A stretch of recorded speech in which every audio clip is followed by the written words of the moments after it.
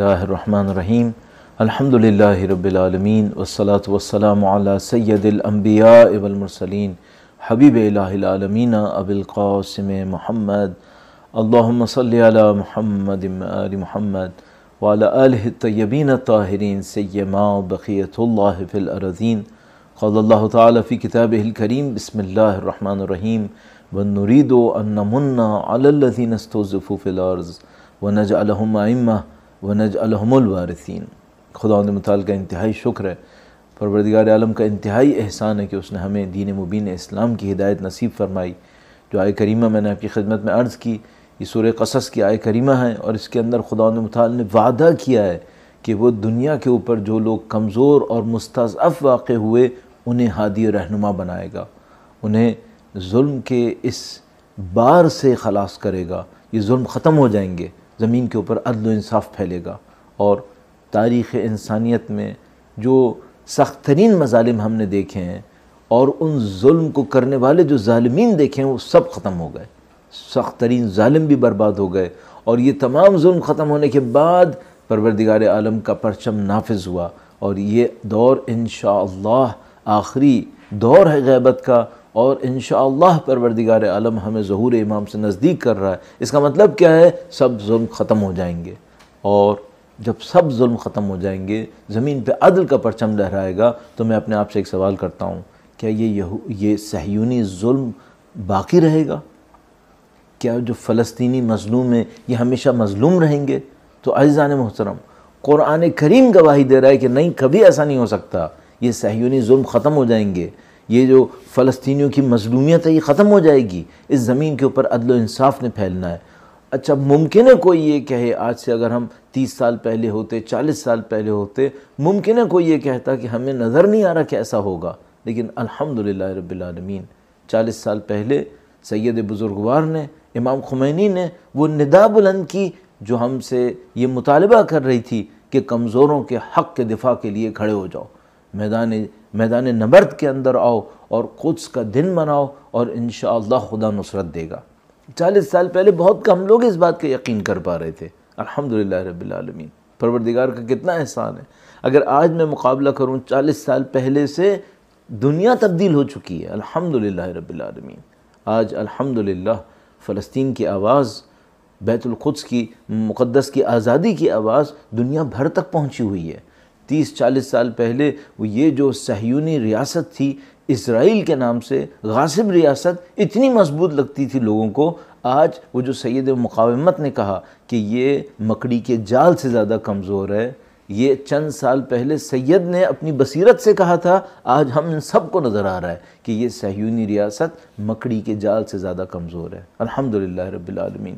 آج فلسطین میں مقاومت ہے، لبنان میں مقاومت ہے اور یہ سہیونی ریاست کچھ اس جگہ کے اوپر پہنچ گئی ہے کہ باہر سے اور اندر سے خود اعتراف کر رہے ہیں کہ اب ہماری بقا کا امکان باقی نہیں رہا اور ہماری ہمارے سامنے جو بصیرت افروز جملات رہبر معظم کے ہیں، جس میں انہوں نے فرمایا تھا اور کتنا خوبصورت فرمایا تھا کہ تم رہو گے نہیں، جو تو تم کہہ رہے ہو کہ مثلا ایران کو ہم نے یہ کر دیا اور وہ کر دیا، تم باقی نہیں رہو گے۔ الحمدللہ رب العالمین۔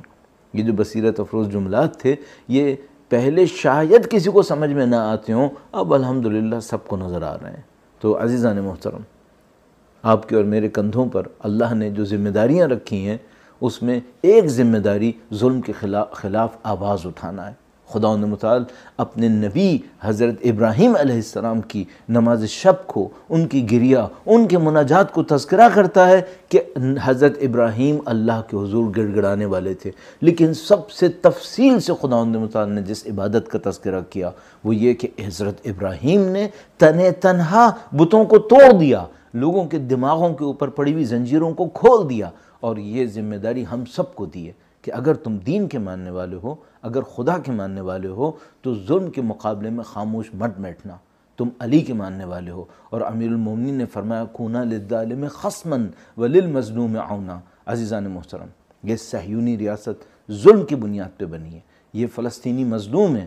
امیر المومنین کا قول نیوٹرلزم کی گنجائش نہیں چھوڑتا۔ ہم جو علی کے ماننے والے ہیں، ہم پر واجب قرار دیتا ہے کہ ظالم کے خلاف آواز اٹھاؤ۔ روز قدس جیسے دن آؤ اور اس ظالم کو یہ بتا دو کہ ہم کچھ نہ کر سکے تو کم از کم اتنا کر سکتے ہیں کہ اس ظلم پہ خاموش نہیں بیٹھیں گے۔ پوری دنیا کے اندر اس کی آواز بلند کریں گے اور الحمدللہ رب العالمین ناتوان لوگوں کی آوازوں کو خدا نے اب اتنی توانائی دے دی ہے کہ اب صہیونی ریاست کے سامنے کوئی مستقبل نہیں ہے۔ انشاءاللہ پروردگار عالم، وہ دن دیکھنا نصیب فرمائے کہ جب انشاءاللہ فلسطین کے مظلوموں کو ان کا حق ملے۔ اسلام کا بیت المقدس، یہ جو بیت المقدس کی مقدس سرزمین ہے، خدا مطال سورہ اسراء کے اندر اس کی تقدس کی گواہی دیتا ہے، اس کی برکت کی گواہی دیتا ہے۔ یہ ان صحیونیوں کے قبضے سے آزاد ہو، چاہے کوئی بھی دین کا ماننے والا ہو۔ یہودی ہوں، عیسائی ہوں، مسلمان ہوں، سب اس جگہ کو مقدس سمجھتے ہیں۔ تو کیوں یہ سہیونی جیسے ظالموں کے ہاتھ میں ہو؟ کیوں یہ سہیونی جیسے سرمایہ داروں، سرمایہ پرست لوگوں کے ہاتھوں میں ہو، جن کا کام صرف لوگوں کو ان کے حق سے محروم کرنا ہے؟ انشاءاللہ خدا وہ دن دیکھنا نصیب کرے گا۔ امام خمینی کی اس ندا کے اوپر لبیک کہتے ہوئے دنیا کے جتنے بھی لوگ آگے بڑھیں اس کے نتیجے میں اور حق کی اس ہمیشہ کی طاقت کے نتیجے میں انشاءاللہ یہ فلسطین آزاد ہوگا۔ پوری دنیا کے اوپر پرچم اسلام لہرائے گا اور انشاءاللہ خدا متعال ہمیں فرزند امیر المومنین کی قیادت کے اندر، پوری دنیا کے اندر عدل و انصاف دیکھنا نصیب فرمائے گا۔ اللہ ہماری اور آپ کی ان توانائیوں کو جو حق کے دفاع کے لیے، مظلوموں کے دفاع کے لیے ہوتی ہے، یکجا کرے، ان کے اندر اور زیادہ طاقت نصیب کرے، ہمارے دلوں میں خلوص اتنا بڑھائے کہ ہم ان مظلوموں کا ساتھ دے سکیں تاکہ اپنی ذمہ داری کو انجام دے سکیں۔ کسی پہ احسان نہیں ہے۔ یہ ہماری ذمہ داری ہے جو ہمیں انجام دینی ہے۔ انشاءاللہ اس کے صدقے میں خدا ہمیں، امام کی نصرت کی سعادت دے اور نصرت کی راہ میں شہادت نصیب فرمائے۔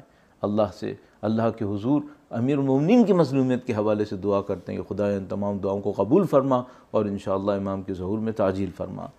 ربنا تقبل منا، انکا انت السمیع العلیم۔ بجاہ محمد و اطرتہ الطاہرین۔ السلام علیکم ورحمۃ اللہ وبرکاتہ۔